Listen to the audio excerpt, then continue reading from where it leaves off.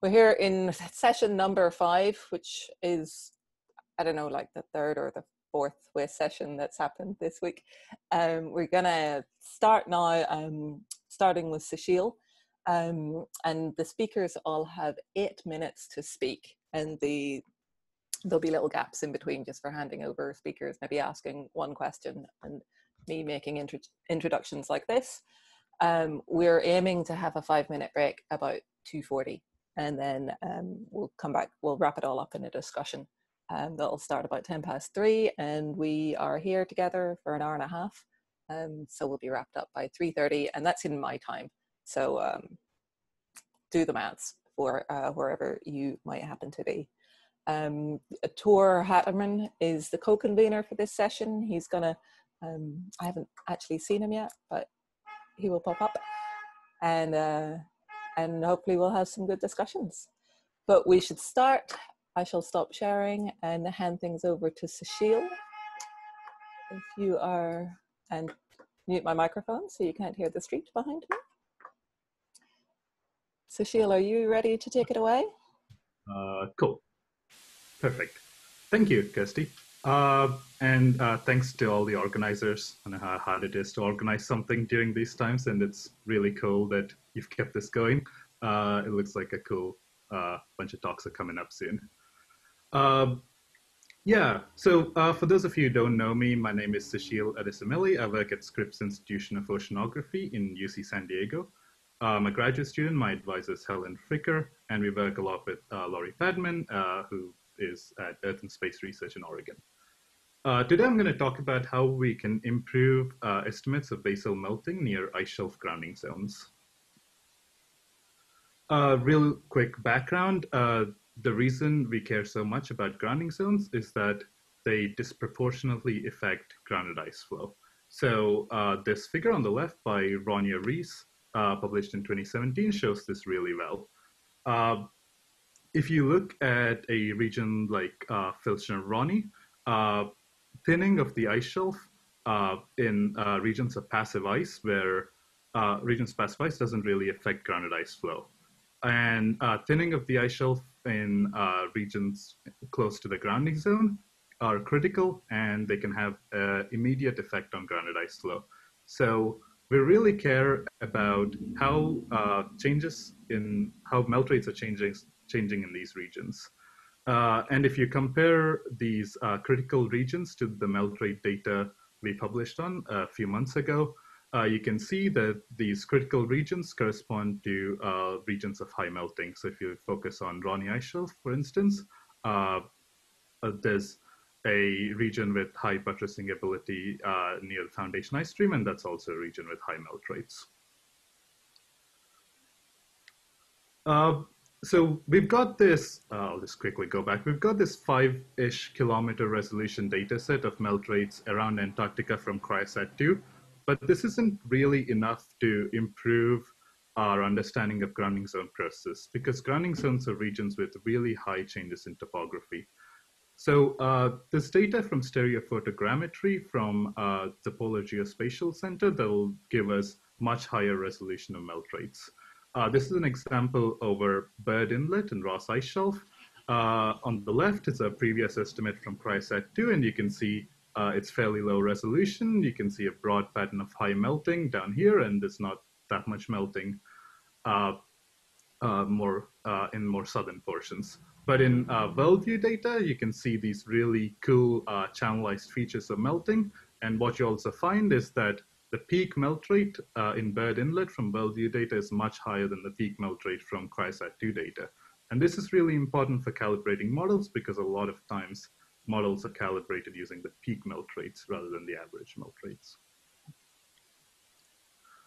I just wanted to quickly uh, look at how well models can predict melt rates near the grounding zone. There's a lot of ways you can do this. There's a lot of models you can use. We've uh, worked with Mike Dinniman's five kilometer ROMS model, for instance. But for this talk, because I don't have enough time to show all that, I'll just show uh, model outputs from a plume model. So we're using a very simple one-dimensional plume model developed by Donald Slater.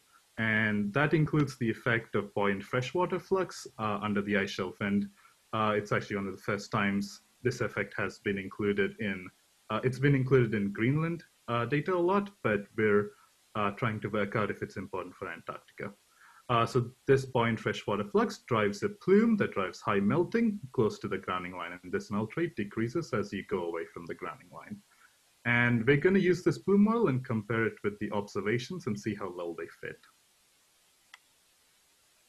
Uh, so yeah, so this is Byrd Inlet again. Uh, I'll only be focusing on this for this talk. And the black line shows the observations of melt rates. So melt rates kind of start at 18-ish uh, meters a year, go all the way down to zero in about 80 kilometers.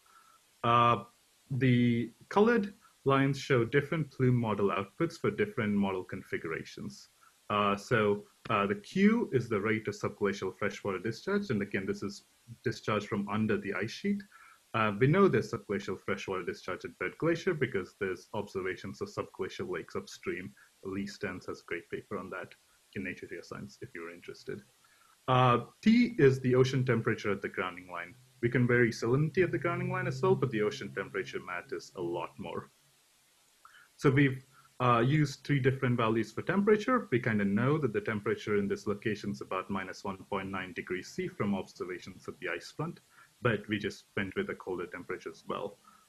Uh, we use different rates of subglacial discharge, and the thing that's really interesting here is it doesn't look like models with low rates of subglacial discharge are fitting our observations well near the grounding zone. Uh, down here, it doesn't really matter, but near the grounding zone, it looks like you need some amount of subglacial discharge. This is just three different model configurations, but you can actually do a lot more than that. Uh, so we ran through the entire range of ocean temperatures down here and subglacial discharge. The uncertainty on our melt rate data is about a meter per year, uh, which is around here. So uh, this dark blue region highlights the zone where the observations in the model are fitting really well.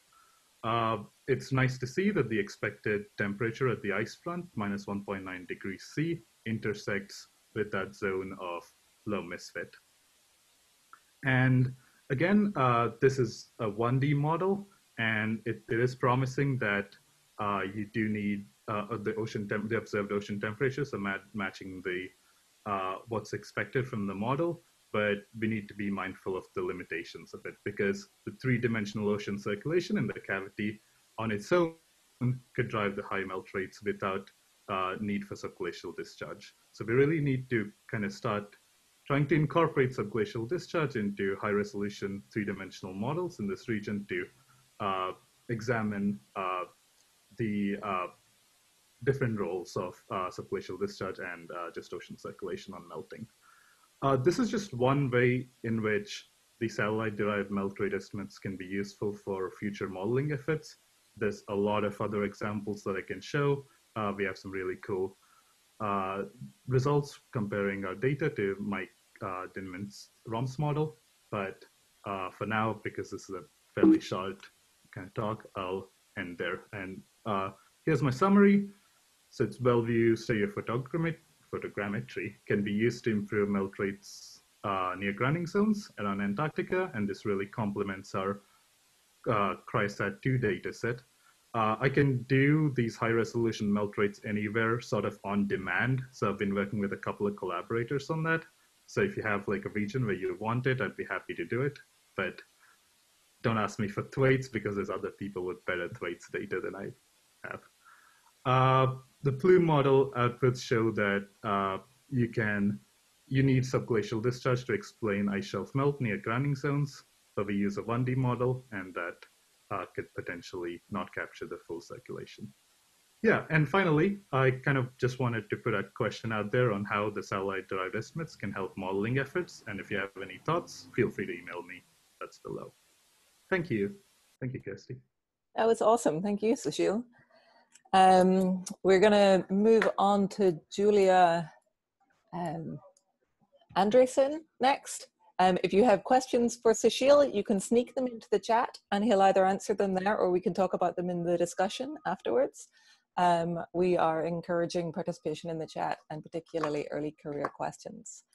But um, first of all, we're about to learn some new things about area changes of Antarctic ice shelves from Julia. Are you uh, ready to take it away?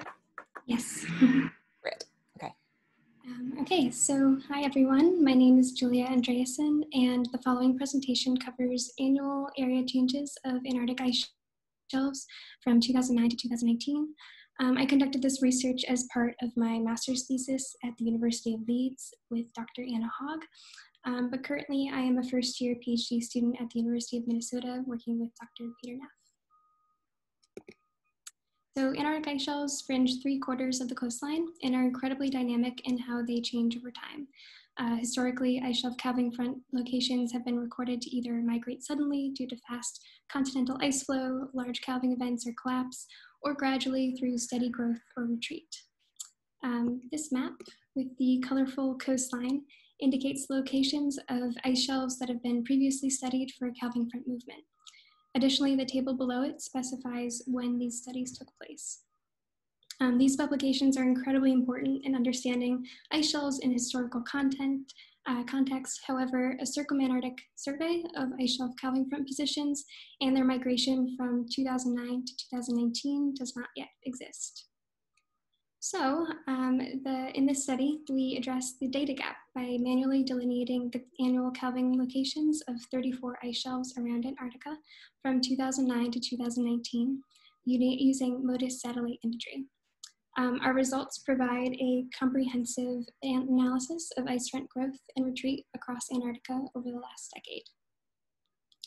So to obtain our area values, we used annual multispectral optical images acquired by NASA's MODIS instrument. Um, these images were taken during the austral summer from mid-January to the end of February uh, to ensure consistent sampling and avoid seasonal variation in the calving front positions.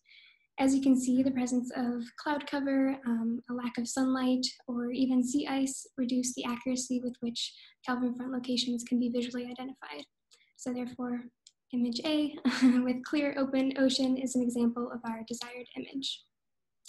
Now, uh, to calculate the annual areas, we first manually delineated, delineated the calving front locations in each satellite image. So equidistant points were plotted every 500 meters along the ice front using a polar stereographic projection.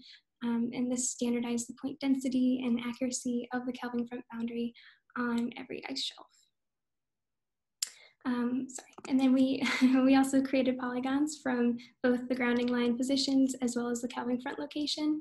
Um, and then these two images or polygons were intersected, creating a bounded area for each annual record of the ice shelf from 2009 to 2019. Uh, and just to note, isolated islands were not included in the calculation of the areas.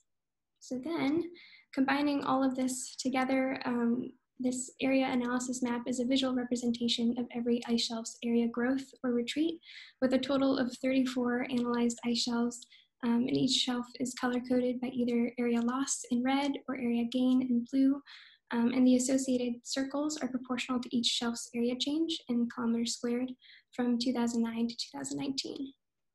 Uh, these calculations reveal a marginal continent-wide area increase of 5,196 kilometers squared since 2009, with 18 shelves experiencing retreat and then 16 larger shelves undergo undergoing uh, area growth. So just to look at our data more broadly, um, these maps all show varying ice shelf components, so changes in thickness and volume, our area changes, and then basal melt. But just for the sake of overarching comparison, it's clear that they all display the majority of dynamic change along the West Antarctic ice sheet. So the following slides look at the calving front patterns of our 34 individual shelves, um, specifically highlighting these changes on the WAIS. So first, um, looking at ice shelves that experienced area retreat, the trend that we first detect are major calving events. So for the sake of this study, we defined a major calving event as the loss of at least 5% of the original area, resulting in the production of one or more icebergs over a short time period. Um, with six total ice shelves fitting this criteria, here we highlight Thwaites, which experienced a major calving event in 2012, uh, losing 2,786 kilometers squared, which was 51% of its original area in 2009, and resulting in an overall area difference of 2,924 kilometers squared from 2009 to 2019. Um, our second retreating trend that we noticed was gradual or steady retreat. Um, these ice shelves are often embedded or surrounded by grounded features such as islands um, that prevent the ice from accumulating thickness and allowing them to be more subject to external but small ablating forces. Um, so featured here is Getz West Ice Shelf, um, losing a total of 222 kilometers squared from 2009 to 2018, um, and Getz is one of eight ice shelves to experience this gradual or marginal retreat over the past 10 years. Um, our third retreating trend is retreat with periodic growth. Um, so this category defines areas that experience individual years of marginal growth, but an overall larger retreat. These shelves are um, often fed by fast flowing glaciers, um, creating patterns of rapid retreat with frequent regrowth, increasing their susceptibility to calving. So with four total ice shelves exhibiting this behavior, um, we highlight Pine Island, which experienced an overall loss of 1,044 kilometers squared, which was 17% of its original area, and with periods of intermittent area advance throughout the decade. So now looking at advancing ice shelves, our first category is steady growth. Um, steady growth defines gradual accumulation that results in an overall area growth that is at most 4% larger than its original area. And these ice shelves are extremely thick and expansive, allowing them to retain their stability as they accumulate surface area. Um, Ross East is one of eight total ice shelves that demonstrates this uh, steady trend with a total growth of 2,055 kilometers squared um, from 2009 to 2019. Our second advancing trend is categorized as growth with periodic retreat. Um, so this pattern defines areas that have faced overall growth but have intermittent durations of retreat. Um, and these shelves are often highly prone to small calving events, but any ablation is then balanced by periods of accumulation and area growth. Um, as one of four ice shelves, Dotson is experiencing an overall growth of 52 kilometers squared, um, but this was also throughout a, a, small period of loss, which was 52 kilometers squared um, in 2016 due to calving. And lastly, our last ice shelf category is rapid growth um, and includes four total ice shelves. Rapid growth defines areas that experience total growth um, of over 5% from 2009 to 2019. And these areas are often located along fast flowing glaciers, um, and in the case of Crosson, are developing expansive crevasses. So featured here, Crosson attained 295 kilometers squared over the span of 10 years, which was 8.3% of its original growth. So to combine all these together and give you more of a, an overall visual, um, after analyzing these six trends, we then assessed each category based on area percentage change since 2009 to get a better sense of how each shelf compares to the other shelves. Um, and each category upholds certain statistical requirements based on the migration of these shelves during our decadal uh, time period. So in conclusion, um, it's important to know that these decade-long analyses are not extensive enough to provide definitive shelf trends. So uh, these results in categorization, however, they bring to um, they bring attention to areas around the entire continent that are undergoing current dramatic or steady change. Um, so we hope and anticipate our analysis to be a starting point for continued measurement of Antarctica's ice shelves and their movement. Um, so as a PhD student, I'm, I aim to continue this exploration of Antarctica with Peter as we delve into the West Antarctic ice sheet and continue using it to combine you know, remote sensing images, um, ground-based observations, and climate reanalysis data to better understand this rapidly changing area. Um, and just to wrap up, a big thank you to Dr. Anna Hogg and Heather Selley for making this work possible during my time at Leeds. Thank you. Thank you very much, Julia. That's an amazing data compilation you put together. Um, if you have questions, again, they can go in the chat or we can have them in the discussion, but I want to just move along and um, go to Bernd Kulessa, who is next up on the speaking order and has command of the screen. Okay, um, thank you. Do you have everything you need? Yeah. Can, can you guys see my screen? Yes. Yeah, good. Um, thanks very much. Um, so I'm very much giving this talk on behalf of uh, Siobhan Killingbeck, who's the uh, kind of whiz kid behind uh, the um, uh, Bayesian joint inversion um, that we've been championing with, with, this particular talk here, and I'll, I'll, explain to you why we might want to do that. Um, and unfortunately, she sent me the results basically just before she ran off on annual leave um, and left, left me to put this talk together. So I'm going to try and sell, sell the main points uh, I think she, she was hoping to make. And yeah. So first of all, um, why, why do we worry about the firn on Larsen C? Um, well, if we uh, look back about 40 years, so here's a nice compilation that Suzanne Bevan made, we can see there's been an awful lot of melting happening on Larsen C. Sometimes the entire ice shelf has melted. In other uh, more typical years, um, we have uh, most melt in the north and in the inlets here with less melt in the uh, southeast over here. But overall, um, there would have been a lot of melting and refreezing of firn. And we know from um, a lot of our previous work um, that um, this leads to very significant modifications of uh, the firn layer. So here's an artist's impression of a massive ice layer that we detected on Larsen C in the Cabinet Inlet a few years ago uh, from melt ponds that have effectively refrozen and, on stacked on, on top of each other. So what we need really is uh, methods that can actually measure this. Um, it, so, so that we can basically estimate the physical properties of these um, bodies. So we need to detect them, characterize the physical properties, and then we'd like to stick them into a numerical uh, ice shelf model so we can simulate the impact on, on flow and fracture. Now, traditionally, we'd use seismic refraction data to um, provide firn density profiles, but actually that only works uh, if you're in a very, very cold uh, area where the firn hasn't been modified by melting at all. Got a paper currently in review that demonstrates that very nicely. And so we need something else to do that. Um, and so the question is, uh, what now? And um, this method potentially here is a way uh, of, of doing this, um, which is the um, spectral analysis of uh, seismic surface or Rayleigh waves, which actually is something that's very widely used in geotechnical site investigations to provide um, ideas of um, the ground structure and stability. And the question is, can this, for example, help in this case, which actually is pretty analogous to that? So traditionally, we'd pick the refraction, the first breaks, invert those for firn density, and as you will see in a little bit, that doesn't work very well. Um, and so in this talk here, we're going to fo focus on the surface waves, which is this big dispersive package here.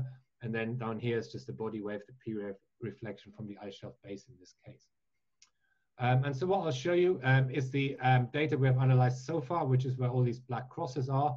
And we'll compare them with borehole um, measured uh, density profiles, um, which are in these uh, red locations here. They were obtained from borehole uh, optical televiewer. Aaron, can I derail you for one moment and say that people really want to see the details in the in the slides? Can you put it onto full um, presentation display?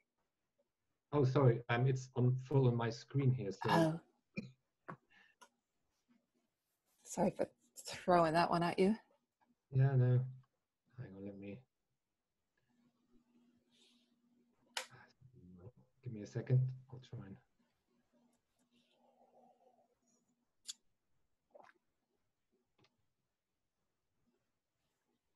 And that's as it was before. So maybe just uh, people yeah. are going to have to zoom in or peer. How about that? is, is this better now? that's perfect. Whatever you did just then, that, that really worked. Yeah, for some reason I've got a second screen here and I switched it off, but for some reason it sprung into action when I started my talk. I don't, magic. Okay, sorry about that. I won't bill you for the minute. Yeah, no, On you go. I'm, I'm really sorry about that. Um, that was uh, not intended. it's good you let me know. Okay, um, so the, yeah, so the the the red dots we basically have uh, borehole density profiles from optical televiewer uh, studies. And so what we do with our seismogram, like the one you just saw, we basically transform it into the phase velocity frequency space. Then the surface waves very nicely uh, uh, separate from the body waves. And this is the um, zoomed in area on the uh, right here. Um, there's various different modes. The one we're most interested in for now is the fundamental mode of the uh, dispersion curve. So we can pick this one along with the uh, uncertainty here. Um, and then before we even do anything fancy with it, um, we can do that for our different uh, seismic spots, which are basically these black crosses here from P0 to P120. And what you can clearly see is uh, where we have uh, P0, for example, the phase velocity is pretty high. And the further we go along um, our black crosses here, the lower the phase velocity uh, ends up being. Um, and we can explain this by, um, if you imagine there's more melting refreezing happens here, we have more massive ice forming. So the elastic modulus massively increases and therefore the um, shear wave velocity also massively increases and the phase velocity along with it. Um, and this is pretty much what we're seeing very, very nicely in this, in this image here. The same works for uh, Whirlwind Inlet and other spots where we uh, make these uh, measurements. Okay, and then we can take these dispersion curves and we can put them into our probabilistic Bayesian uh, algorithm multi-3, and we can invert the dispersion curves then jointly with P-wave profiles from our seismic refraction work, as well as borehole density logs or density profiles from the seismic refraction itself. Actually, it turns out um, that both of those work pretty well, which is very encouraging uh, for future work. And then we get posterior or, or post-inversion depth profiles of shear wave velocity, p wave velocity and uh, density. And so here are some examples for uh, three spots. And I noticed when I was putting it uh, this morning as I was going through it, um, Siobhan renamed this. So CI0 is here and CI120 is there. For some reason, the P got lost and the CI came in. But um, point is that in the um, inlet, um, cabinet inlet, there's very little firn. Um, there's pretty much just uh, refrozen ice. Um, here, as you can see, so the, the white line is the um, density through the um, uh, firn column um, at the top of the ice shelf down to 40 meters. And the other thing is we also have the raw optical uh, televiewer data here. So the, the more black, basically, the more refreezing, the more white, the more uh, it resembles original firn. Um, and we can see as we move from uh, CI0 to 120, we get more white in our colors, um, so less refreezing. We can also see if we look at the white curves that we have uh, more um, sort of fluffier firn on top the further we go away um, from the um, inlet itself. And the other thing that we can see, so we have the um, three shear wave profiles derived from our inversion here that you can see. Um, and what we can see very nicely is um, that um, these shear wave inversions basically ni very nicely reflect the base of the um, firn and where they transition into the massive ice um, where we have our refrozen ice layers in, in all of these cases. Um, so that, that is really good. They're also very, very good at reconstructing the density of the firn itself. I don't really have time to talk about all this in too much detail now in eight minutes. Um, so what I've done instead is I've just summarized um, basically a, an interpolated map um, of the results that we have so far. And so here's VS, the average from 5 to 15 meters depth. And we can see that the pattern itself um, matches very nicely the typical melt pattern where we have more melt in the north in the inlets compared to the south. And this is nicely reflected in the variability in our, our shear wave velocities. And if we look at shear wave velocities of 15 to 25 and 25 to 45 meters depth, we retain this kind of north-south gradient um, that we have. And but overall, the shear wave velocity increases as our, our firn increases overall. And this very nicely reflects um, what we had uh, found previously or, or, modeled previously, which was that we basically have centuries of melt on Larsen C that have, have occurred there for many, many years in the past. And the VS profiles are very good at, at giving like real quantitative uh, values that we can use in order to derive densities and various other properties that we might want for um, uh, ice shelf modeling.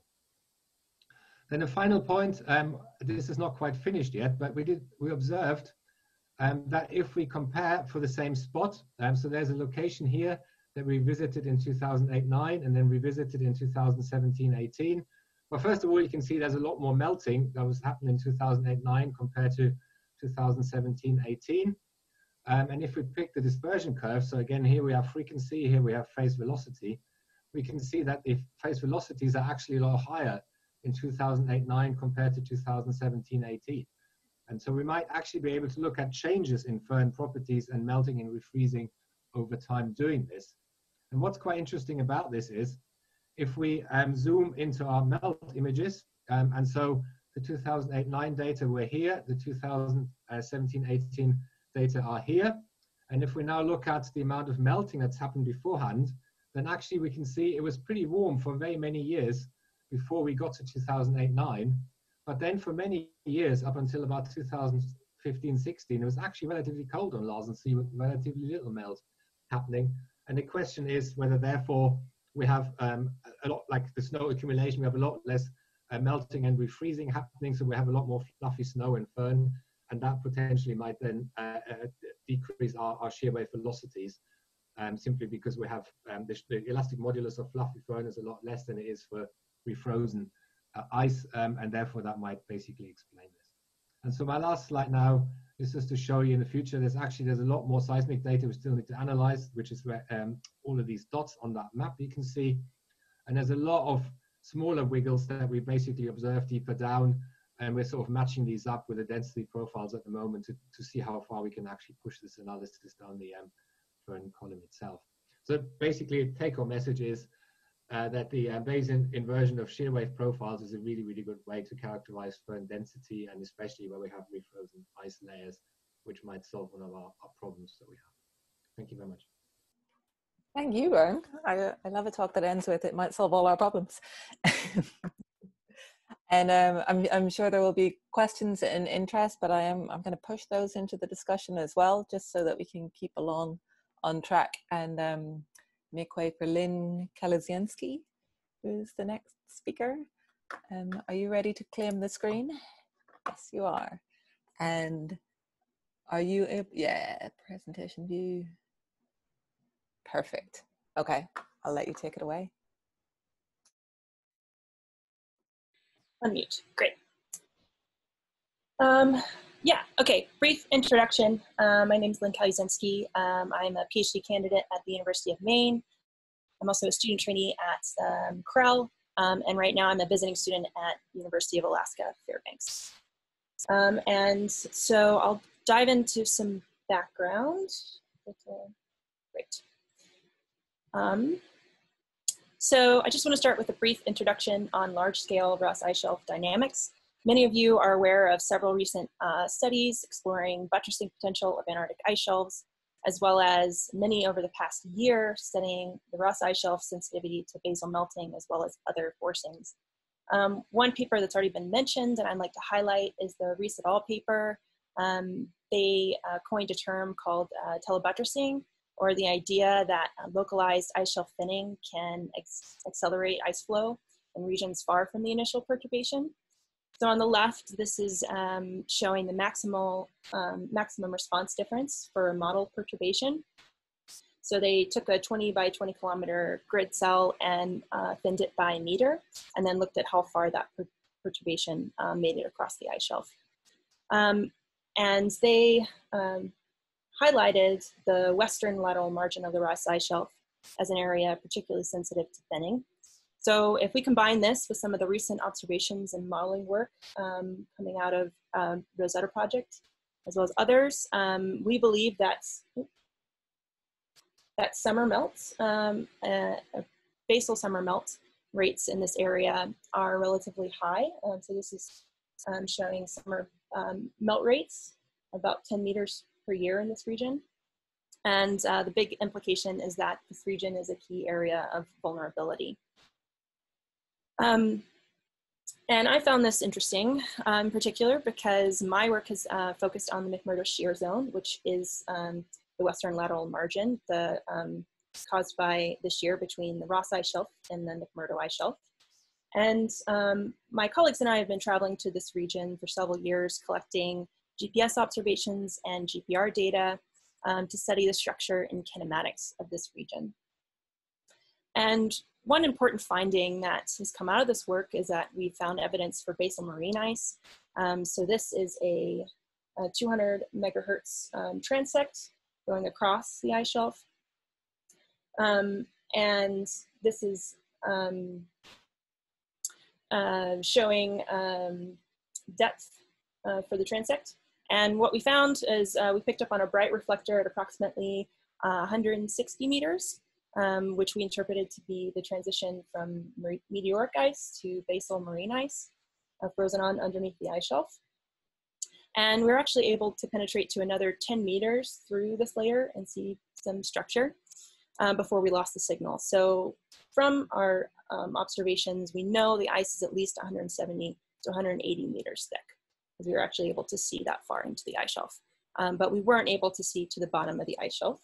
So um, the next thing I wanted to do was um, do an ice thickness estimation. Um, so using the information um, from our surface elevation from GPS, um, as well as firn densities from the region and marine ice density estimates from literature, which we believe to be more dense than the meteoric ice. That combined with the, um, the depth of this um, transition, um, I was able to estimate ice thickness to between 190 to 220 meters. So um, using this estimation, uh, we believe that uh, the marine ice layer is somewhere between 40 to 60 meters thick across the shear zone. So comparing this to some of the more widely used remote sensing data sets, um, the top line is BedMap2. Um, so this is a data set uh, commonly used in, in um, modeling studies and all the modeling studies I mentioned at the beginning of the talk. Um, the thickness from BedMap2 shows uh, that it's between 70 meters is what they estimate. Um, and the big takeaway is that our estimation of ice thickness is more than three times as thick as that um, data set. Um, and even our direct observations, again, we were able to penetrate to 180 meters, um, are more thick than some of the other better data sets, including Bed Machine and Rosetta.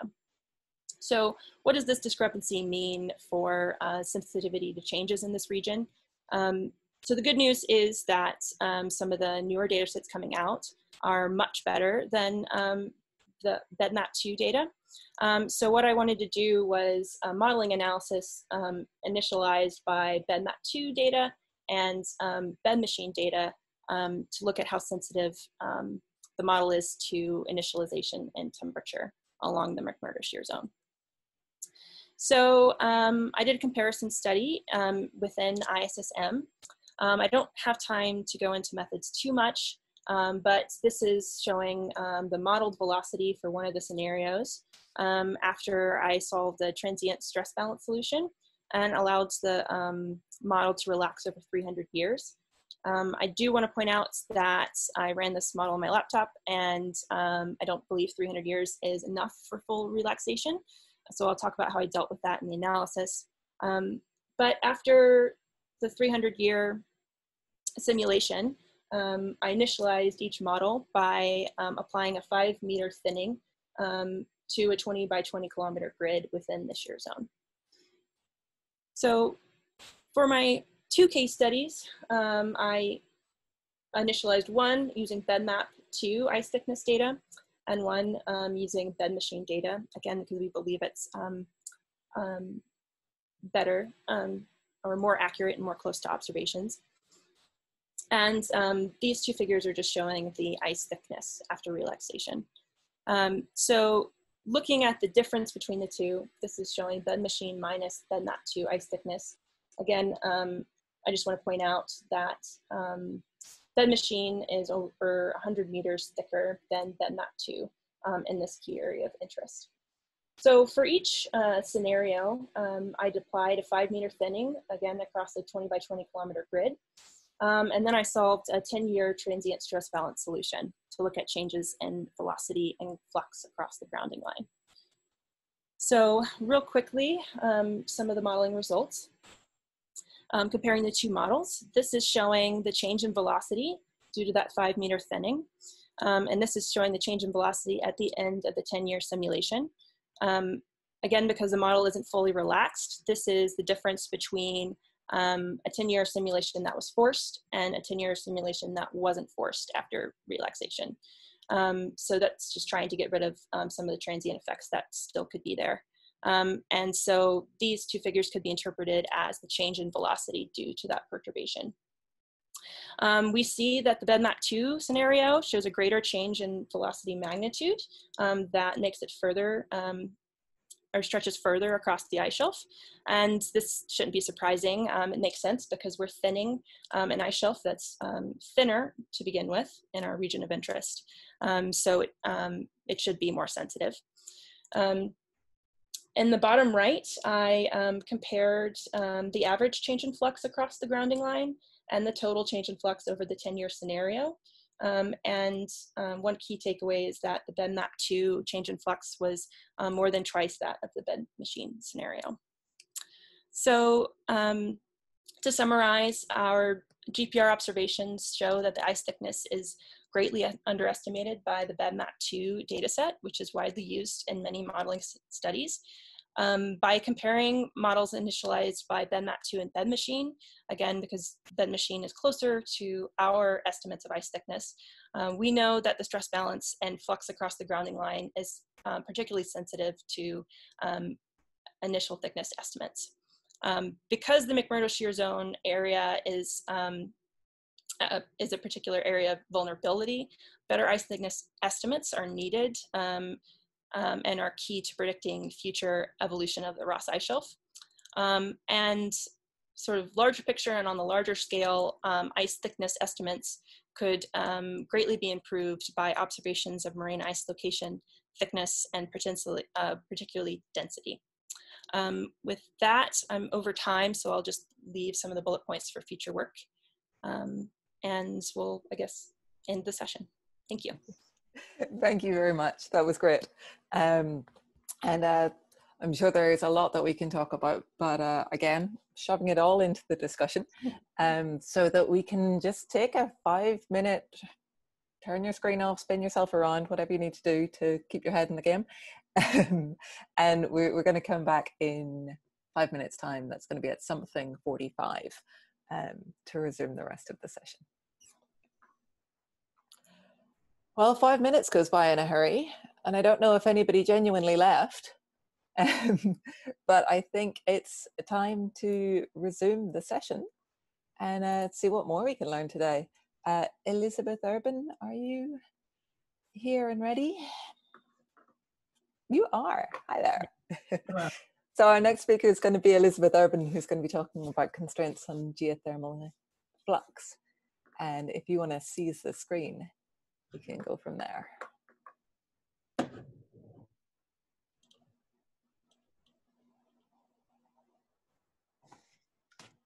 All right, uh, quick introduction. My name is Elizabeth Urban. I'm a senior at the University of Washington. I'm here to discuss a project that's taken place over the previous summers. My project team consists of myself, as well as Surabhi Biyani, who is another UW senior, and our mentor and advisor, TJ Fudge. Uh, Surabhi and I were connected to this project from the Washington NASA Space Grant Consortium. Uh, they aim to connect undergrads in STEM fields with resources and research opportunities. And beyond TJ and Space Grant, we've had collabor collaborators from Dartmouth, Norwegian Polar Institute, CU Boulder, and some other collaborators from UW as well. We are interested in adding constraints to geothermal flux in Antarctica. Uh, geothermal flux is a useful boundary condition for ice sheet modeling and direct measurements are few and far between. Our methods estimate the maximum geothermal flux via numeric modeling, and we can compare these to inferences from remote sensing and observations. We utilized coastal ice domes with observed Raymond arches, which indicates ice is frozen to the bed. We are pretty comfortable with the assumption that they are frozen because sliding reduces the Raymond effect and all drilled Raymond arches have been frozen at the bed. Uh, it's possible to find the maximum heat flux with the frozen bed, because we can model when melt would begin with these ice domes. And this is a similar concept to using subglacial lakes to estimate minimum flux. If the flux is too low, then the lakes would be frozen. So to find the maximum geothermal flux, we modeled in glacier temperature profiles at coastal ice domes. We used a one-dimensional ice and heat flow model, transient time to get these temperature profiles. Uh, our inputs were the temperature history, accumulation history, vertical velocity history, and ice thickness history. We then incrementally increase the geothermal flux and force the model with surface temperature history until the temperature profile shows basal melt. Um, we validated this model at Siple Dome, which has borehole temperature data that our glacial temperature profile can match reasonably well. At Siple Dome, we were also able to see that our maximum geothermal flux estimate isn't significantly affected by the presence of a basal temperature. Uh, there isn't really a large difference between that and the pressure melting point here. Uh, we addressed uncertainty by varying the forcings with reasonable differences in history. And if you are interested in the nitty gritty of this, I would direct you to the paper that was published in GRL in 2019. Uh, the first leg of this project was done by Surabhi Biyani in 2018 and focused on the Ross Ice Shelf region with the intention to significantly increase constraints in that region. The second leg was done by myself in 2019 where I took this method of estimating maximum geothermal flux and attempted to find constraints elsewhere in Antarctica specifically in Dronning Maud Land and Adelaide Island, uh, via extensive literature review. In the Ross Ice Shelf region, our estimations of maximum flux at Engelhardt and Shabtaie Ridge agree with the recorded values at Siple Dome. Uh, we then compared our estimates to maximums for two continental scale remote sensing based models. Uh, on the left, the Martos et al. map is based on Curie temperature, and on the right, the An et al. map is based on seismic data. Uh, when comparing our maximum estimates with the Martos et al. paper, the elevated heat flow did not appear to exist at Engelhardt and Shabtaie Ridge. And when comparing with the On et al. map, our maximum values were higher than their estimates, so we can't quite get results from this. It was consistent results, but we can't really confirm any new constraints. And when we compare our estimates of the maximum flux to other estimates and observations in this region, uh, we can find that our constraints correspond with the sediment probe that you can see at the grounding zone, and the high value at uh, subglacial Lake Whillans uh, doesn't seem to be widespread. And then after the Ross ice shelf domes have been utilized, I took a look at other coastal ice domes with modeled Raymond arches, and I conducted a literature review to find temperature, accumulation, vertical velocity, and ice thickness history to force this model. Uh, we found plenty of data in Dronning Maud Land, but unfortunately, our constraints were significantly higher than other models, kind of rendering our upper limits less useful because our maximums were quite high. They were in the range of 150 milliwatts per square meter um, due to these higher accumulation rates up in Dronning Maud Land, which leads to greater advection down at the bed. This is, of course, in contrast to the really prime stuff we could find down in the Ross Ice Shelf. Um, they have lower accumulation rates, and the maximums can be used to constrain things a little more. Um, we were also able to add constraints on Adelaide Island, which is a region that has been modeled to have very high heat flux. So in this case, the warmer surface temperature yields a high maximum flux, but our estimate was still lower than previous constraints. So our maximum on Adelaide Island was 105 milliwatts per square meter with a large uncertainty, but even with this large uncertainty bound, our data points towards a lower value for the maximum geothermal flux than previously modeled. And similar to the Ross Ice Shelf region, we do not support the regions of higher geothermal flux because our maximum estimates fall below of the previous model. So in conclusion, this is a modeling technique that can provide additional constraints to geothermal flux in Antarctica. The uh, bulk of our measurements gives uh, uh, supports continental values in the basin and range. And uh, this is a project that is a really great way to get undergrads such as myself and Surabhi involved in this research via numeric modeling. And I'll leave with a final note that if you have other locations with Raymond arches, uh, my advisor TJ would love to continue to torture undergrads with using these uh, values.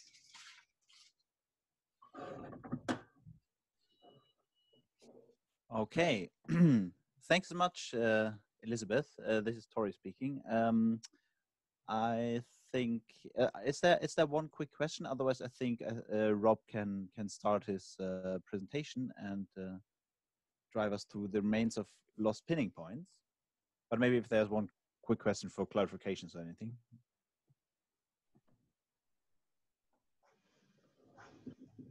No, this doesn't seem to be the case. Rob, are you ready to share your screen?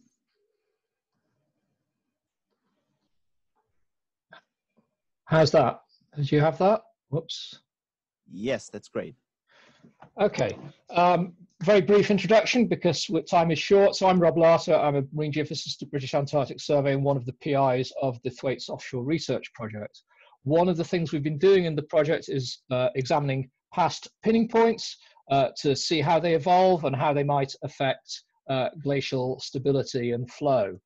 Uh, so what I'm going to do is just present a few general ideas and a couple of data examples. And uh, for anybody who went to the uh, ITGC meeting earlier, this is the same as I presented there, but there will be a substantially different audience, I think, at WAIS, so I thought it was worth rerunning. So uh, this is a diagram that many people will be familiar with, but I think there's there's something quite significant missing from it because we we talk a lot about the buttressing effect of ice shelves, but in reality, the ice shelf you're looking at here isn't doing a lot of buttressing, and that's because most of the back stress comes from from an ice shelf comes from drag along the sides or where it's going over pinning points. So let's put a pinning point on there. And apart from the backstress, uh, pinning points also have a number of other effects. They can divert the ice flow, uh, they, they can affect the calving style, and they're certainly going to affect uh, the, how the uh, ocean circulates in and out of the cavity. So we need to understand how uh, pinning points evolve and, and how they uh, affect uh, glacial dynamics and other processes as they do so. So first of all, before going on, let's have a look at where the pinning points are in Thwaites. This is, these are the, this, this figure shows the, the grounding lights, lines mapped from SAR interferometry by Eric Rignot and colleagues. And if we zoom into the Thwaites region, you can see that there's a, there's, there's a large uh, pinned area near the tip of the eastern ice shelf. And uh, well, there used to be a pinning point under the glacier tongue. That's probably not there uh, anymore. So the, the pinning points at the tip of the eastern ice shelf, if you look at the, the velocities, which are represented in color, you can see that that's backing up the ice considerably, and that results in a, a shear zone uh, between the, the eastern ice shelf and the glacier tongue. If we now move offshore and look at our, our new multi-beam bathymetry recently published in the cryosphere, you can see that the pinning points are sat situated on much larger bathymetric highs. And by the way, the view is rotated now, so north is towards the, the, the top of the page. Uh, and something else significant I point out here is from a core site that exists here. Uh, we know that the grounding line retreated beyond this point more than 10,000 years ago. We know that because there's a very consistent set of radiocarbon dates in the core that show rapid accumulation after the ice retreat quite early in, in the Holocene. Um, so quite slow flow. So what I want to do now is just walk through a sort of thought experiment about how pinning points may evolve under a thinning ice sheet. So we're starting off with a, a, a very common kind of schematic where a grounding line is pinned on a bedrock ridge. Uh, in most of these diagrams, you have this kind of hard, immutable bed. But in reality, we know a lot of fast flowing glaciers have a basal debris layer or a mobile till layer underneath them. So they're transporting sediments to, to the grounding line. And if the grounding zone remains relatively fixed for a period of time, as we expect it has because of a, uh, the slow retreat, we can expect that this will build a grounding zone wedge. Now, if the ice start is thinning and the sediment delivery rate is high enough, as the ice thins, that ground that sediment it'll build up, it'll grade the grounding zone wedge so it stays in contact with the base of the ice. And if the thinning continues, eventually you may, you may get a cavity forming, in which case you're cutting off the conveyor belt of sediment supply. So after this, you may expect continued thinning will, uh, will lead to, to separation. So what I want to do now is look at what we may be left with in this box here. So first of all, if we just simply separate, if, if the, uh, the, the ice shelf just thins and, and breaks up and comes away from the pinning point, we may be left with something like this with a smear of sediment over the top and I refer to this as a thick spread pinning point. It's, so it's like somebody's put a really thick slap uh, paste of, of peanut butter on their toast. Something else we've got to think about in this situation is if, if we've got thinning ice, we've probably got uh, glacial isostatic uplift, and, and particularly if uh, we've had faster, a period of faster thinning than a period of slower thinning, the, the uplift may uh, keep the, the pinning point in contact with the base of the ice even though the ice is thinning. And then we may get uh, the hard core of a pinning point outcropping over the center of the high with just some sediment on the sides. And a, a third thing situation I'd want, to, so I'll call that the scraped. That's like when you scrape the burnt toast. Uh, the third situation is if we have a, a, a bedrock with an irregular surface, we may get sediment plastered into the depressions on, on the surface of, of a relatively hard uh, pinning point. So one thing I also want you to note on all these diagrams, there's a, a very low surface gradient uh, back upstream because that's the, the kind of profile you expect on the base of an ice shelf. So how do we go about uh, imaging sediments uh, on pinning points or anywhere offshore? Well, a, a lot of you have probably seen uh, sort of records like this. This is an acoustic uh, acoustic profiler record from uh, sub-bottom profile from the Palmer many oceanographic research vessels have these. They can produce very nice records like this one. But really all you're seeing here is, is the mud, the, the very fine-grained sediments and water-rich sediments. If you've got uh, any significant thickness of sand or, or compacted sediments, that'll just look like bedrock. So in order to see the full picture, you need something with a, a lower frequency sound source. These things are several kilohertz. lower frequency sound source. So what we used this year on the Palmer was a pair of generator injector air guns and a sensitive hydrophone streamer to get some uh, some seismic data that can can see uh, the the more difficult to image sediments. Before I just show a couple of seismic examples, uh, just just have a look at what um, our new multi-beam data tells us about morphology of pinning points. So in the center panel here, there's a lot a selected set of profiles across bathymetric highs in the Pine Bay region, uh, arranged in in the direction of flow. And what I want you to to note here is that in general these show this this shallow uh, upstream dip that I've, I've talked about. The the insets show where a couple of these particular ones were selected from. One one offshore the Getz and one in in Pine Island Bay. Uh, particularly this Getz one, I think the detailed geomorphology here gives you a clue that there's probably some sediment involved, the very smooth uh, tails from the, the crag and tail arrangement, for example. So let's just have a quick look uh, at some, some seismic examples. This is one of our new high-res seismic profiles. It's actually across the, the high just north of the, the edge of the high just north of the eastern ice shelf. And I think you can see that this, uh, this, this shows what I've highlighted here in, in uh, transparent orange. You can see there is sediment on uh, on the flanks of the high. I think you can also see, if you look carefully, that the, there is some plastered into depressions, as I hypothesized. And one more example is uh, this is a pinning point. Uh, this is a, a, bathymetric high on the northern side of, of uh, Pine Island Bay in the direction of presumed past flow. You can see it's got this upstream dip. The the true the true dip here is about half a degree. But in this case, you can see, I think, quite clearly there's uh, sediment accreted to the, the upstream side of the high. And I think, although it's a little less clear, I think this little bump on the downstream side is a sedimentary construction and the, the sediment uh, down the, down the uh, downstream flank. So uh, I don't know how I'm for time, but just uh, the takeaway points I, I, I, want to, to mention are that uh, the geometry and nature of pinning points matter. We, we can understand these a little bit from looking at the, the past ones. They matter because they stabilize ice shelves, they may slow and divert ice flow, affect calving style, uh, and they certainly constrain the, the circulation in the cavity. And an important thing is pinning points are probably not all the same.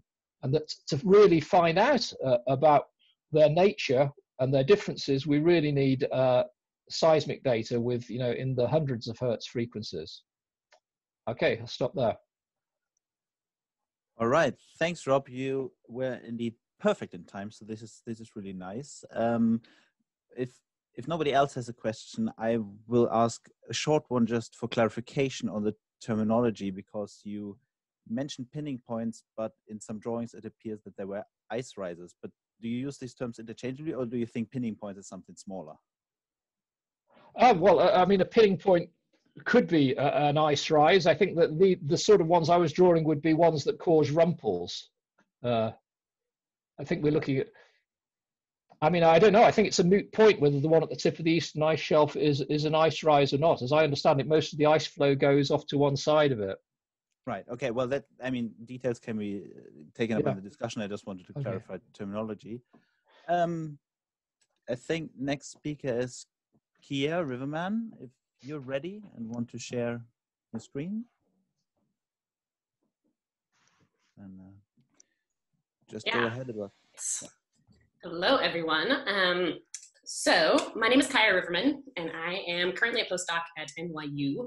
And today I'm going to be uh, telling you a little bit about um, some bending that we observe across the grounding zone of Thwaites um, and then put a little bit of thought into how stable is this grounding zone at present based on some seismic observations we've made across the grounding zone. Okay, so uh, there's been this idea that we can, we can treat grounding zones as estuaries. Um, it's come from several lines of thinking. Um, and this is the idea that meltwater is able to certainly flow from up glacier out into the ocean, but that in certain places at certain times, there's actually seawater that's able to inflow up, up glacier of the grounding zone as well. Um, and one mechanism that might be responsible for this um, is tidal forcing. Um, and the reason we want to think about this at all really is that this is going to extend the area over which we possibly have ocean-driven melt, um, as well as have an influence on uh, sliding of ice right across the grounding zone. And so, like I said, tidal flexure can potentially be responsible for this pumping up glacier of seawater. Um, this idea was first kind of modeled by Ryan Walker in a 2013 paper. And he showed that where grounding zones are pinned um, on a point, so this is going to be somewhere where you have rough topography um, or steep bed slopes, um, that if with that, with that pinning, with subsequent tidal variation, um, that there can be this elastic response of the ice inland um, that can produce this low pressure zone at the bed and possibly drive inflow of seawater. And this has been um, theoretically described and modeled, but not yet observed um, until the work I'm going to show you today. So what I'm going to show is a seismic line and series of tilt meters um, across the eastern um, Thwaites Shelf grounding zone. So we're looking up here. Um, here's the 1617 grounding line, a bunch of pics from this Milillo paper we've all seen a lot from. Um, and so I'm going to be showing a seismic line that's about nine kilometers long um, across this transect and tilt meters from these locations. So just jumping into these tilt records right away, what I'm going to show on the next screen is the, the tilt results. Um, and at the top of the screen is going to be grounded ice, and then we'll be moving down glacier. So here we see um, these tilt results, and the gray lines behind are the tides at this point in time from CATS 2008. Um, and then the colored lines are the tilt response um, at the same time. And what you can see, um, kind of if you squint your eyes and look down, um, is that the more afloat we are and the further down glacier we are, the, um, the closer the correlation with tides. Instead of looking at this in this space though, let's actually think about it in correlation space. And so um, this is that same transect. We're looking at surface elevation here. So you can see um, the grounding zone sits right about here that we know from our seismic data. And so we see this slope break going out um, to flotation. And so each of these colored dots are tilt meter measure measurements. Um, and this um, plot down here is the actual correlation with tides. And so you can see that for the most afloat ice, um, we have a really strong correlation with tides.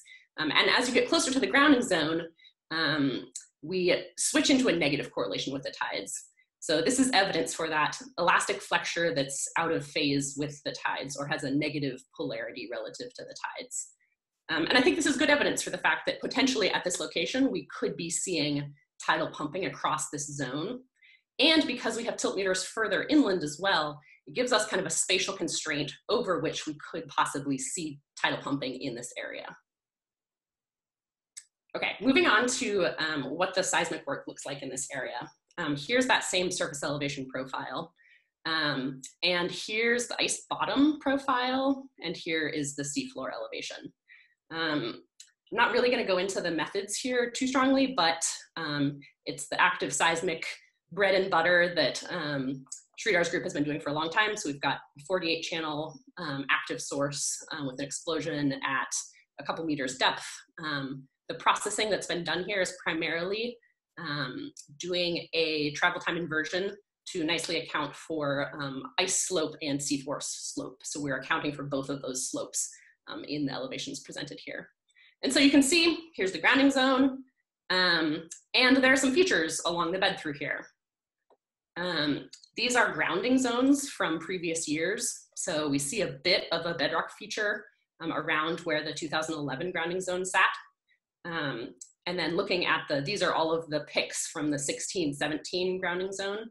Um, and so you can see at present, the present grounding zone sits kind of within this band of measurements made across 2016, 2017. So we really haven't seen strong retreat of this grounding zone since that time. Maybe a little bit in that um, we're certainly no longer tidally grounding um, in these regions where the cavity has gotten a bit larger. But in general, um, we haven't seen broad scale retreat of this system since 2016. Um, what is this area from a larger perspective? We can pull in BedMachine results to say, um, if we look along a flow line, what kind of topography are we looking at? And as you can see, the grounding zone here is sitting on kind of this regional high point. So we have a really strong pinning point at this location that the grounding zone is currently sitting on. And this is probably why we're not seeing um, strong movement of the grounding zone at this point, despite some degree of ocean forcing. Um, yeah, of course, we don't live in a 2D world, so just popping into the 3D world for just a moment. again, this is the seismic line that we've been looking at. Here is this local topographic high. Kind of in general for this grounding zone, you can see that it's really strongly topographically controlled. It's, it's hanging out on these pinning points. Um, and there's this large scale kind of ridge feature, and behind it we have this much lower um, topography.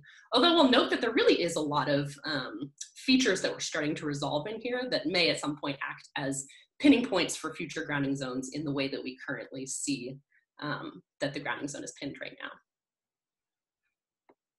So I want to talk for a minute about the surface elevation changes we're seeing across this area. So this is all from um, WorldView imagery that's actually within REMA. Um, and then, and so 2011 through kind of 2016 in these lines. Again, this is that same transect we've been looking at, the seismic line. Um, we've got grounded ice over here transitioning to floating. I'm going to throw on the grounding zones here for the same points in time. So 2011 set out here and then it jumped back. Um, and the big features of what we're seeing here is that there is some degree of thinning that's happening at the grounding zone. Um, and we've got this new low elevation feature that's popped up in this down glacier section. And um, my thought for what that is, is it's a rift. Um, and you can see that from aerial imagery. So here's Landsat. Um, and you can see that as ice is flowing across this area, it starts to pick up these rift features that are actually what later set crevasse spacing um, or uh, calving spacing down glacier. And the location where those rifts are first starting to appear has shifted inland um, between 2016 and, and 2018. So again, as we're, as we're shifting from kind of 2016 here to 2018, we're starting to rift further inland than what we'd seen since 2011 at least. And so I'm gonna make the case that um, this grounding zone is relatively stable at this point in time, but we're seeing thinning and rifting. So um, in the way that Alex Robel presented on the first day of this meeting, that grounding zones can hang out on, on bumps for a while um, and thin as long as as long as it's a particularly large bump. I think that's what we're seeing here. So we're we're stable on this large bed feature, um, but because we are seeing thinning and rifting, there is active change happening, and at some point we might expect to see a pulling off of that feature. Um, and that's where thinking about mechanisms like flexure come into play, because now all of a sudden these kind of seemingly small effects where exactly is seawater getting to start to play a bigger role because if we're able to do some melting actually up glacier of the grounding zone. Now, all of a sudden, pulling off of that pinning point becomes um, something we need to think about. And so I would make the case that this is a region um, where thinking about flexure in this way becomes particularly important. So thanks much to the two field teams um, who've been out there the last couple of years um, and all the folks who funded this work. I'll take questions if we have time. yes, great. Uh, thank you very much, Kiya. Um, I think time-wise, we are kind of riding right into the discussion. So uh, I would just open the floor for uh, questions about all the talks that have been presented so far. Um, yeah, and if anybody wants to start, uh, you can either try to put things into the chat, raise your hand, or or speak out. Uh, and also, I mean, it's first time for me at WAIS. I'm usually attending FRISP uh, everybody not feeling familiar with the community, just feel free to to uh, open up and, and, share your thoughts.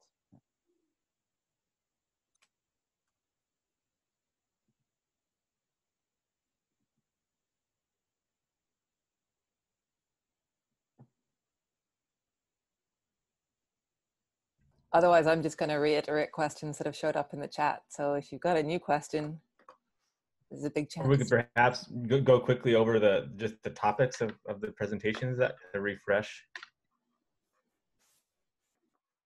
Sure. Um, because we've been everywhere. We've been all around uh, the ice shelf system um, and all around Antarctica, to tell you the truth. So we had Susheel. Um, he was talking about um, basal melt rate parameterizations or estimates that were happening near the grounding zone. We had Julia, who had been all around Antarctica looking at the changing area of ice shelves. We had Bernd, who solved all our problems um, by, by looking at firn in uh, seismic data. Um, we had Lynn, who um, was looking at the Ross ice shelf and uh, what happens when you thin at shear zones. uh, Elizabeth um, was telling us about geos- geothermal flux on um, coastal domes. Rob took that off to the other end of the ice shelf and talked to us about uh, pinning points. And then Kiya, well, if you've forgotten what Kiya said, then you really haven't been paying attention. But um, she's been flexing the grounding zone for us. So there's a lot. If there's anything you don't know about ice shelves, somebody here can answer it. I say go for it.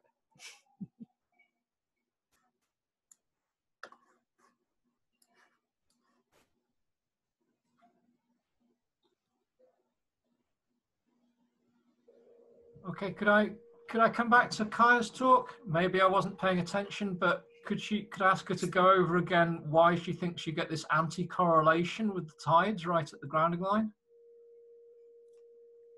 Yeah, for sure. Um, that's because um, the ice has elastic strength to it, and so effectively, if you're bending it down um, over here, you can lift it up a little bit over here right? And so as long as there's this fulcrum point, so you can imagine on a shallow slope, um, just the position of flotation might shift with the side tides, but where you have um, really steep bathymetric features, like what we're seeing at the grounding zone um, of Thwaites at this point, you're effectively pinning the grounding point, and so it acts like a fulcrum, and you have this inland um, elastic response. Okay, if, just to follow that up, so in that case, so if if uh, just upstream the ground line, it was only really just lightly in contact, if you, as you'd expect on a grounding zone wedge, if it was uh, an accumulation of sediment that the, the ice itself had deposited, just building the sediment, you wouldn't expect this effect there. It's only where it's really, uh, there's quite an inflection at the grounding line. That's where you, you get this, yeah? Um, yeah, so, so you need, the, the, the like two pieces you need are, um, some kind of elastic subglacial material um, and a, a fixed grounding zone. Okay, thanks.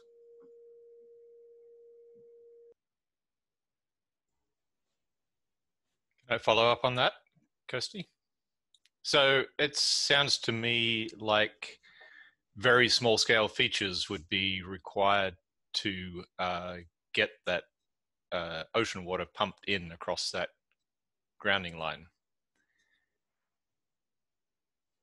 I'm, I'm thinking that you need to, if, if you had the idealized geometry that you showed, then then maybe you maintain contact at the grounding line and there's no place to pump stuff in. Oh, but if you but if you have a lot of small scale uh, uh, along grounding line variability, then that would open up as you flex the ice. Yeah, for sure. So uh, yeah, I see what you're saying. Um, so I would say that you need like the large scale features of uh, like a pinning point that the grounding zone is currently sitting on, but then also you're right, like smaller scale roughness that allows for heterogeneity and where water can flow. But I think that's a reasonable expectation of grounding zones. You know, we so frequently think of them in this 2D space, but they're a 3D feature. And so um, in the way that I might expect to be generating pumping action at one point, I think um, that that would be slightly decreased even just you know a couple hundred meters over um, is a reasonable expectation where you could actually be pulling in water at points. Yeah i guess the uh, the point i was trying to get at was what how much resolution do you really need at the grounding line to know what to expect in terms of fluid pumping yeah, um, that's a good question. I don't know. We're moving forward. The way we're going to kind of like test this theory, at least for this area, is that we have a nice radar profile across. And so we're just going to look at reflectivity of the basal reflector and see if we can see kind of how far inland um, seawater is extending, if it is. Um, and so maybe more, more work where um, with the resolution that we do have, seeing if there is inland ingression of seawater happening um, can help at least resolve where it's happening and then in those places saying something about what roughness is and then using that to say something about the resolution that you need to to make this happen. But i think that's a that's an important question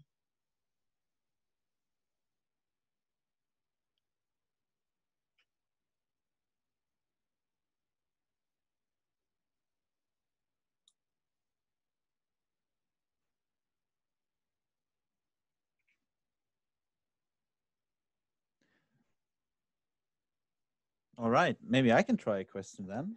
Um, I was wondering, Elizabeth, on your talk when you were looking at these distributed data sets and that you have, do you get any notion of, I mean, putting all the practical aspects aside, where we would, we should put our efforts to get more of these uh, geothermal heat flux measurements? Where, where, where do, are they needed most? Yeah, that's a that's a great question. I mean, at this point, I think we'd be just about happy with it being anywhere, but um, particularly in areas that we haven't covered yet at all. So we found the results up in Dronning Maud Land slightly less useful as maximums, but potentially some other areas, especially on the Antarctic Peninsula, where we see a lot of these higher values that we're not quite sure exist, that would probably be the next place that would be ideal to focus.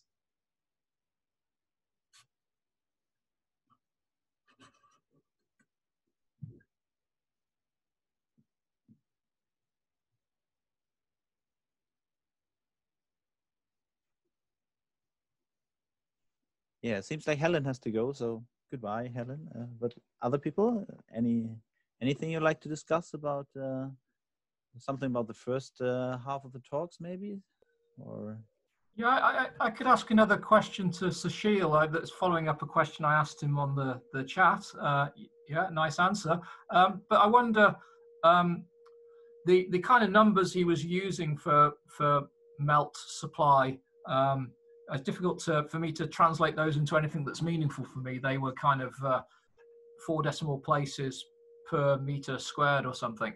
Um, have has he looked at whether those kind of numbers are compatible with the the ups, the basal melt rates that are, are, are supposed?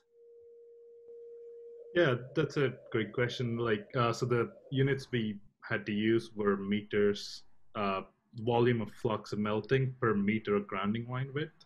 So it's a little complicated, but we've compared those values against lake volume changes upstream. So Byrd has a bunch of uh, upstream subglacial lakes, and uh, those lakes have about a kilometer cubed of drainage. And if you look at the width of the grounding line at Byrd and divide it by that, so the numbers match up very approximately, if you notice, we had a log scale on our figure, so it's very, very broad range, and they do line up in those ranges, but it's really hard to get a get good estimates of subglacial flux from lakes uh, and how much of the water coming across the grounding line is from draining lakes versus just a trickle of subglacial water.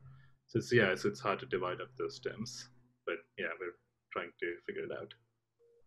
Thanks. Okay, thank you.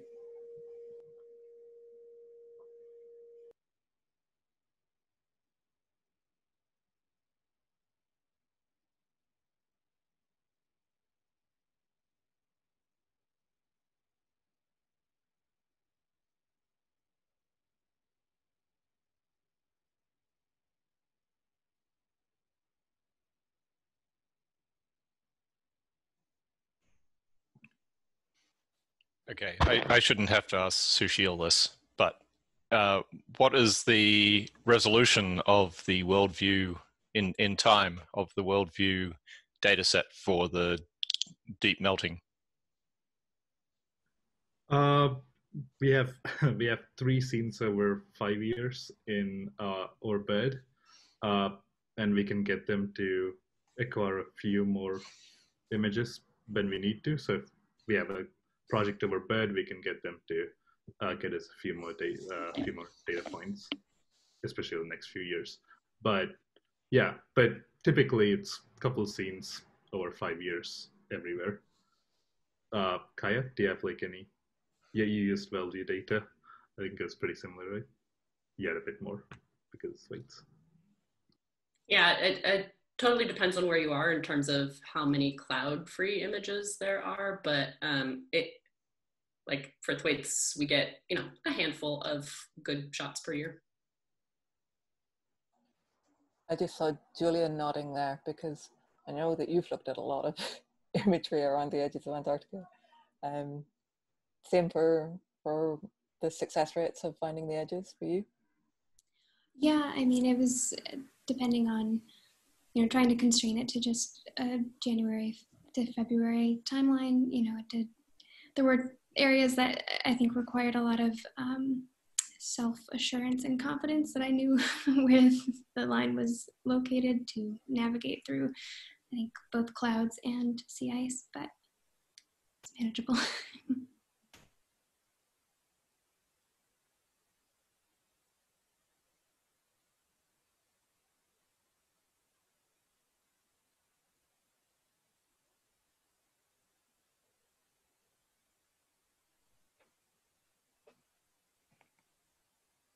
seems like I'm not stepping any on anybody's toes if I may post another question to, to Rob this time. Um, I was I was pretty intrigued by these uh, seismic images that, that you showed from from this well former pinning points. Uh, uh, maybe this is a dull question, but do, do we know how old these are? Like when have they been ungrounded? That should tell us a lot about the glacial history there. But maybe everybody knows that except me.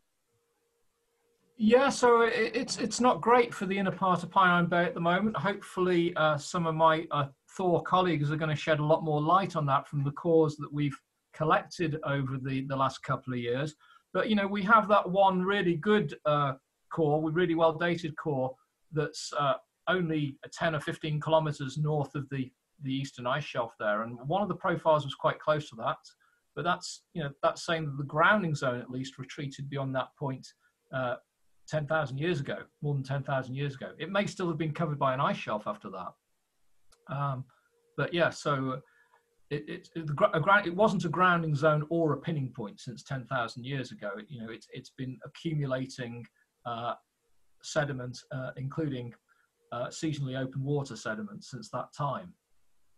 Um, but yeah, um, we see this widely that from the start of the Holocene, 10, 11,000 years ago, the grounding zones were right back into Pine Island Bay. Most of the post-glacial retreats actually uh, uh, happened before that time. And during the Holocene, uh, we, we really haven't got a great handle at the moment on what's happened during the Holocene. The, the can't have been very much retreat, but uh, there's another Thwaites project where they're looking at the possibility that, that there was some retreat beyond where the ice is at the moment, uh, and then a little recovery in the late Holocene.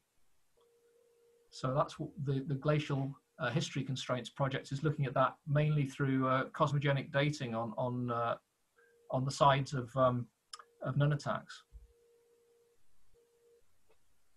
Thanks. I thought this was really exciting, and I'm more concerned with the water usually. So yeah, I, I don't know these things. Well, hope, hopefully we'll get some dates that you know tell us some of the things that are really close up to because we've managed to get the ship really close to the front of Thwaites. That maybe we'll find some things that are actually uh, actually quite young. I see I see a comment in the chat from Trevor that's not directed at me, but maybe I can answer that if unless Rob or Kiya you want to. Maybe okay. you can all take it in turns. or maybe Trevor wants to read it out or post the question directly. Yeah, sure. Oh, no microphone. He's he's not going to do that. So I so I can read it out. Um, he says, is there anywhere that tidal pumping or grounding zone flexure could be recorded in the sedimentary record?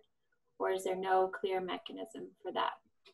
So um, a lot, I don't know if Lindsay Prothro is on this call, but we did a lot of looking at um, grounding zone proximal sediment cores, and we didn't see any evidence of, of tidal pumping that you would you would expect. Um, thin laminations, uh, uh, distinct changes in in grain size. Um, I've seen this in I've seen this in one place though, and this is in the Puget Lowland where it looks like there's evidence of of tidal pumping at a former grounding zone, but I haven't seen it. I haven't seen it at least in the Ross Sea where where I've mostly worked. I would add though maybe that that's not necessarily surprising given that the Ross Sea is fairly flat and squishy and I would expect that this would be more common in places like the Amundsen Sea where we've got more bedrock control um, and so rougher grounding zones. So, uh, if I could add to that, so this this was the the, the subject or the interpretation uh, of a paper in Science earlier this year by uh, Julian Dowdeswell and co-authors, looking at some data. I, I, can share my screen and show you the, one of their key figures if if people are up for that. Yeah. Go ahead. So, uh, so can can you, you see this this figure? Yes, we can see it. Um, yeah. So uh, I mean, this this is th these uh, they call these things rungs. Uh, they're very similar to things that have previously been described as corrugations. And the, the top the top left image is is showing uh, these rungs are sitting on top of a grounding zone wedge, and that they interpreted these as as being formed uh, by tidal oscillation of the grounding line during retreat. So that there's a little schematic diagram at, at the bottom right there. So uh, I mean, it's it's it's a very interesting hypothesis, and uh, I, I, can't really go any further with that because some colleagues are working on uh, on something um, quite similar.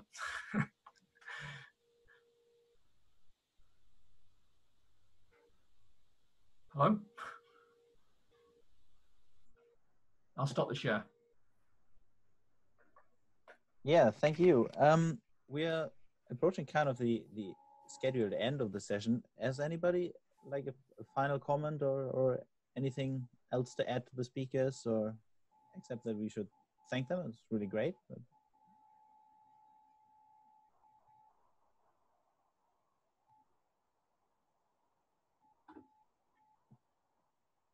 Well, I guess then it's uh, however you you want to clap or what we what we do on, on zoom these days but uh, yeah uh, let's thank the speakers once more and um, well uh, and enjoy any other any further sessions planned? We are not the last one i think. No we are not no, no. i think there's another one later on today. So uh, mm-hmm. yeah keep wasting the next few weeks.